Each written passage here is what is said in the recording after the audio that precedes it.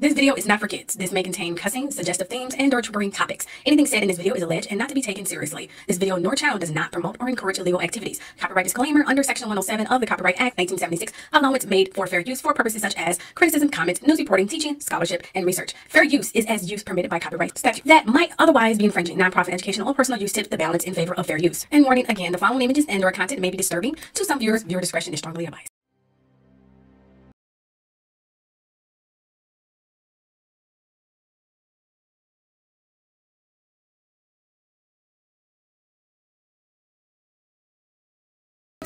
And this true secret requested video that I am so serious about whereas it's the reason why I wanted to do it on camera. I wanted you all to see my face. No hiding behind the microphone while I touch on the subject. This long overdue of racism in the royal family. A problem that High Commissioner Seth George Ramocan says still exists in a subtle form though. Or not to mention the slave trade reparations. Yes especially after Prince Harry said in his statement that it must acknowledge their past wrong. That was clearly an open-ended concern, and we need to dive deep. In order for you all to understand what I'm talking about, you all need to know the slave trade history, and it will shock you. With that said, we need to go back.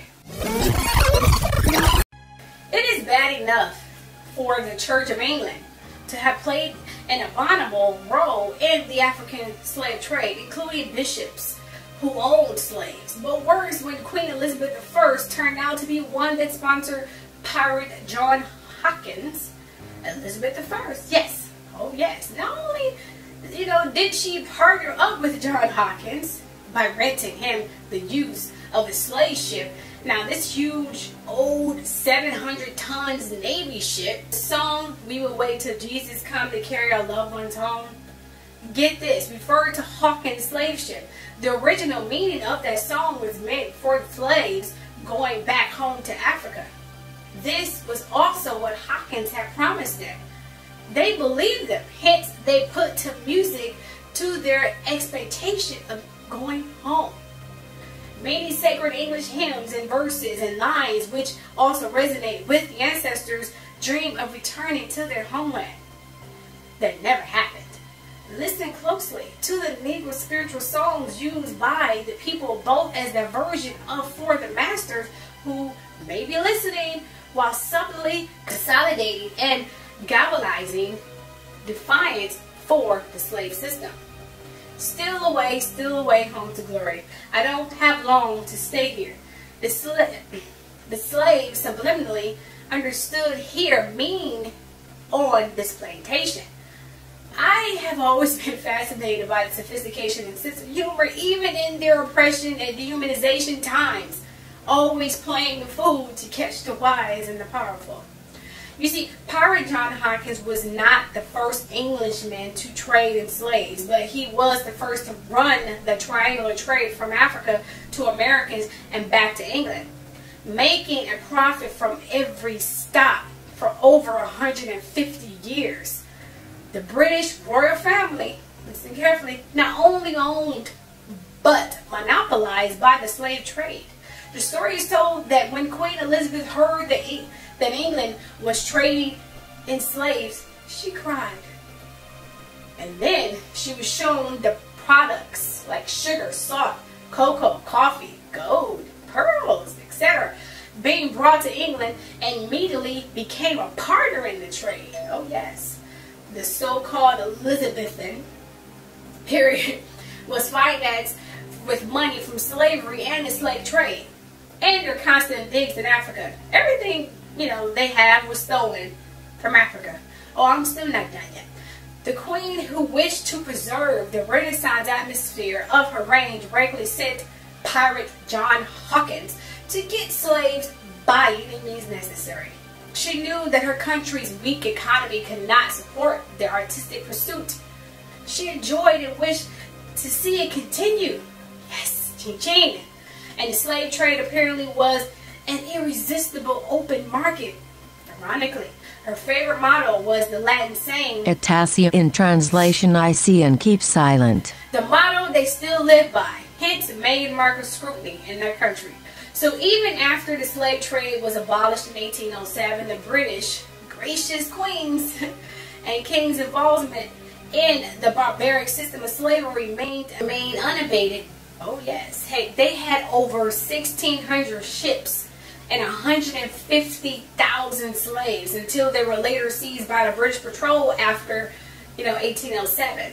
Because greedy leeches, monarchs forgot they had signed into law to abolish the slave trade and they were breaking the very law that they enacted. and by 1632, the British monarch Charles I, hence who Prince Charles was named after. Yeah. And it's the King James of the Holy Bible, the second sung, and yes, he was half black. Gave a monopoly license to a private company to trade in slaves from Africa. Yes, black owned slaves. Oh, don't get me started about the Egypt kings, queens, and pharaohs and how they treated their servants slash help and entertainment. That'll be another video. But I give you a hint. Check out the late king of pop, Michael Jackson's video. His music video, Remember the Time? Very accurate. Oh yes. Anyway, his father, King James I, had earlier done the same thing, which led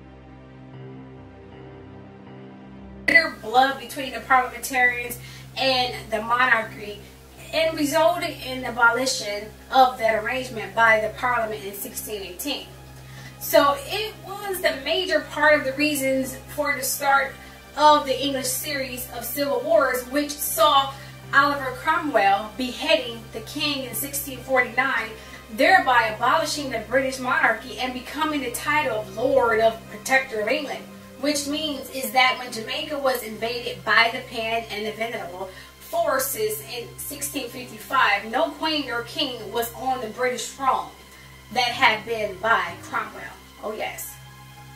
Chief Justice John Bradshaw who sentenced the king to death, is buried there in Jamaica at Gunhill in the parish of Trelawny. Oh yes, it may be listed on the parish of St. James in some record, but both are correct as that eastern part of St. James was cut off and joined with the western part of St. Anne to create the parish of Trelawny in 1770. It was immediately after the restoration of the monarchy that John's Bradshaw body was removed from the Westminster Abbey by his son and reburied in Jamaica. Oh yes. You see this period is when the British monarchy was abolished and is known in English history as the Interregnum. Then in 1660, after the death of Cromwell, the monarchy was restored with Charles II ascending the throne. Charles II was the grandson was the grandson of King James I. Yes, the royal family is half black, although that doesn't matter. However, the English slave was still fully monopolized by the British royal family, the Royal Gambia Company, the Royal Adventurers Company, and the Royal African Company were all owned by the British royal family. Oh yes. Hey, England became so rich through the exploitation of slaves, gold, and ivory from the Guinea coast that a coin called a guinea and salute in the vast resources, human and physical, was ordered by the monarchy to be minted. The guinea was the largest denom denomination of English currency, valuing 21 shillings, a favorite of lawyers whose fees on average amount to 5 guineas. The carelessness lies that were recorded for future African generation consumption with the English and their domestic allies, they did so clearly believe that they were never come to a time when this whole corpus of nonsense will be exposed by the children of the slaves yet unborn.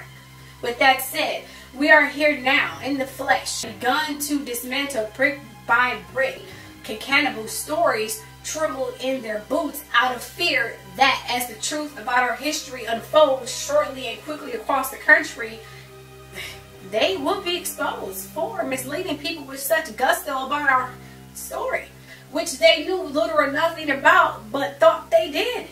As we all know, the broader context of Europeans hijacking and black history explain why the enslavement of our ancestors have been filled with so much brinkmanship, disconnectedness, and confusion in the reportage of the truth about what transpired, there is absolutely no doubt that the ideas of Africa, darkness, and the lack of any trace of civilized history was carefully contrived by the European intellectual community. The negative attitude towards Africa's past was crystallized and set in motion by the well-known German philosopher Wilhelm Friedrich Hegel. Yes, in his philosophy of history of lies, as he stated categorically, listen, Africa is no historical part of the world because it has no movement or development to exhibit. He also said that blacks are incapable of education and culture. As we see them as this day, such have they always been, meaning he wanted to keep blacks in the dark so they won't learn the truth of what they've done. Oh, I'm still not done yet. Because he further demonstrated his racist ignorance by trying to separate Egypt from the rest of Africa. When he stated that Egypt does not belong to the African spirit. You see where I'm going with this? Now, listen to me and know that it should be noted that during the 19th century and the better part of the 20th century, a flurry of similar denigrating statements about black Africa resonated throughout Europe and the rest of the world. Thus were told by Richard Burton, the founding member of the London Anthropological Society and a seasoned traveler in Africa. Yeah. Mm -hmm. That, and listen, what these lying plagiarists said. The Negro would not improve beyond a certain point. Oh, I'm not done yet. He continues and said that. Mentally, they remain a child. I know crazy. Others like Professor A.P. Newton, the European historian, stated explicitly in 1923, and this is when the lies were getting so freaking out of control. Listen to this BS. Africa had no history before the coming of the Europeans. I know. They said this after stealing so much from Africa, and still is. Oh, I'm still not done yet. Because no remark was more the uh, Professor Hugh Trevor-Roper of Oxford University, who declared in 1963 Perhaps in the future there will be some of the African history to teach, but at the present there is none. There is only a history of the Europeans in Africa. The rest is darkness, and the darkness is not a subject of history. He then said it serves no useful purpose to amuse ourselves with the unrewarding gyrations of our barbarous tribes and picturesque but irrelevant corners of the globe. That's what he said.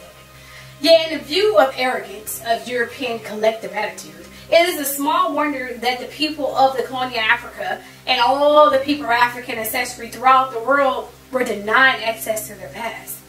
They wanted to keep us in the dark. Additionally, it is easily explained the reason that our history is riddled with so much inexactitude, arcaicness, and obfuscation. However, there are enough of children of slaves who are capable of cleaning up the mess handed to Jamaicans, blacks, Africans of history. Such a shame though. But the counter offensive has already begun seriously knowledgeable people across the island and overseas are coming together. We can do this. We must do this. Because Queen Elizabeth II carries a piece, listen carefully, of this tradition. Have you ever noticed a piece of jewelry that the racist royals carelessly wear? Yes, the Star of the Knight Grand Cross, which is the most distinguished order of St. Michael and St. George that's still the highest honor the Queen can award for diplomatic and overseas services. Have anyone ever looked closely at that pendant? Have anyone ever researched it? Well, look closely. Yes, you see the knight with the knife who has wings that's UK colors, like he's freaking, like he's a freaking angel, and is standing on the black person. He's standing on the black person. Can they get any more freaking blunt? This cross is a mockery and reminder of what they feel about blacks, not to mention all they stolen from the land of Africa. The royal family hasn't earned anything. They've stolen, plagiarized, and killed for everything they have. And for blacks of that country to continue to stand for this, it saddens me. You mock Americans for their fight. I, I see your Twitter feeds and stuff. But your diligence and compliance is far worse. Well, that's it. Let me know your thoughts below. On that note, don't forget to subscribe, share, and like, and hit that bell so you get notifications when I do post more videos. See y'all later. Love you all. Bye.